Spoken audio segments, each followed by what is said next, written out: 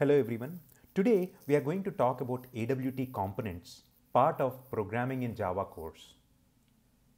AWT components are the basic building blocks of a graphical user interface in Java. They are objects that can be displayed on the screen and interact with the user.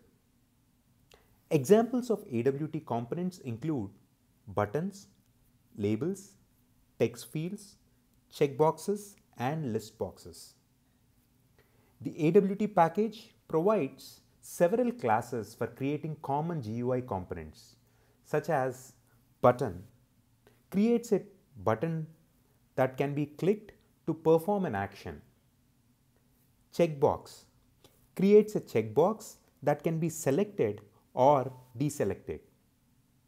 Choice creates a drop-down list of items that can be selected.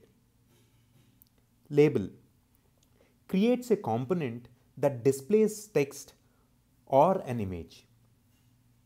List creates a list of items that can be selected.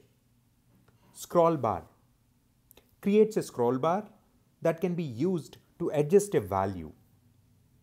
Text field creates a component that allows the user to enter text. Text area creates a component that allows the user to enter multiple lines of text. AWT also provides several container components. Some of the example component implementation are as shown below.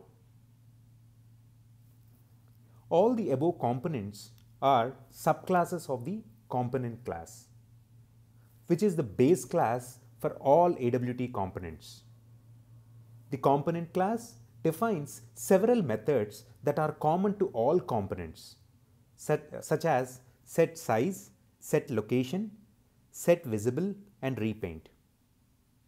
Hope this was helpful. Thank you for watching.